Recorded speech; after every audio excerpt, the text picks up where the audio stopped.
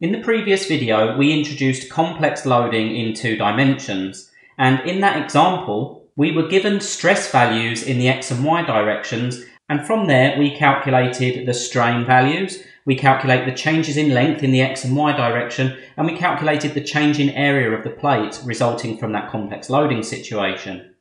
What we have this time is we have known strain values and using those known strain values, we're going to calculate the stresses in the x and y directions that cause those strain values. Now, the first thing to note is that we have a strain in the x direction of 0.00015 or 1.5 times 10 to the minus 4. And we have a strain in the y direction of minus 0.00008 or minus 8 times 10 to the minus 5. Now, I want to point out the importance here of the fact that we have a negative for the strain. When we apply our conventions, anything that causes the plate to stretch or elongate is positive, where anything that causes the plate to shrink or contract is negative. Now, the same is true with the stresses, and we need to be really careful with our sign conventions here. If the stress is causing the plate to elongate, then the stress is positive. If the stress is causing the plate to contract, then the stress is negative. And we have an interesting case here because what we don't know is whether the stress in the y direction being applied to this face here is going to be positive or negative. The reason we don't know is because the stress in the x direction may be causing an induced strain or we may be applying a compressive or a tensile stress in that direction in order to balance the stress in the x direction. So as we calculate through here, we need to be really careful with our sign conventions because the sign conventions that we come out with for our solutions is going to indicate the direction of the stresses. We have some additional data for our plate. This time we have a plate that's 145 millimeters by 220 millimeters. We have a Poisson's ratio of 0.29 and an elastic modulus of 205 gigapascals. Although the dimensions of the plate are given here, the only time that would be useful is if we were looking at the changes in dimensions of the plate.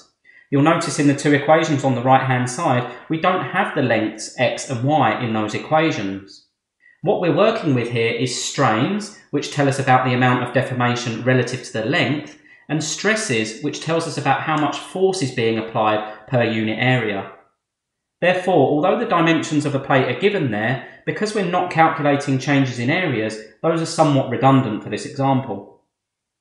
However, we can calculate our stresses. First of all, we're going to calculate sigma x. Now, once again, we need to be really careful here because our elastic modulus is in gigapascals. So we have 205 times 10 to the 9 divided by 1 minus our Poisson's ratio squared, 0.29 squared. We have our strain in the x direction. Now our strain in the x direction is positive and it's 1.5 times 10 to the minus 4.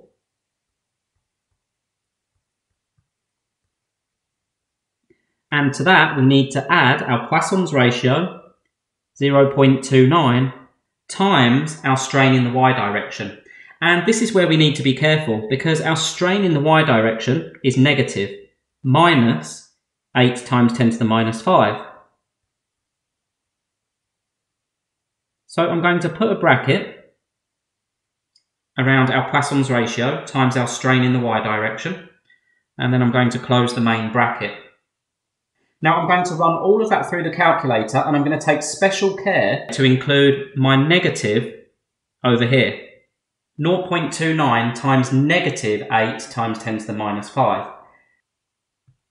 Okay, so we have a value for sigma x, and sigma x comes out as positive. We'll make a note of that. 28.38 megapascals. The reason it's megapascals is because on my calculator display I have 28.38 times 10 to the 6. Okay, let's calculate our sigma y. We have sigma y equals E, 205 times 10 to the 9, over 1 minus our Poisson's ratio squared, so 1 minus 0.29 squared, we have our strain in the y direction this time, So our negative comes first, equals 8 times 10 to the minus 5. Once again, we need to be really careful to include our sign convention. And to that, we're adding 0.29 times epsilon x. Epsilon x is positive, 1.5 times 10 to the minus 4. Okay, so let's run that through the calculator and see what we get for sigma y. And sigma y comes out to be minus 8.17 megapascals. Okay, so this is where the conventions are important because we have a stress in the x direction which is positive and as we said at the start of the video, a positive stress is anything that's causing the plate to lengthen or elongate in this direction. So we have sigma x as 28.38 megapascals.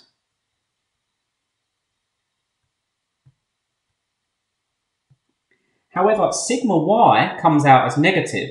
It's negative, so it means it's a compressive stress in this direction. And the stress is 8.17 MPa.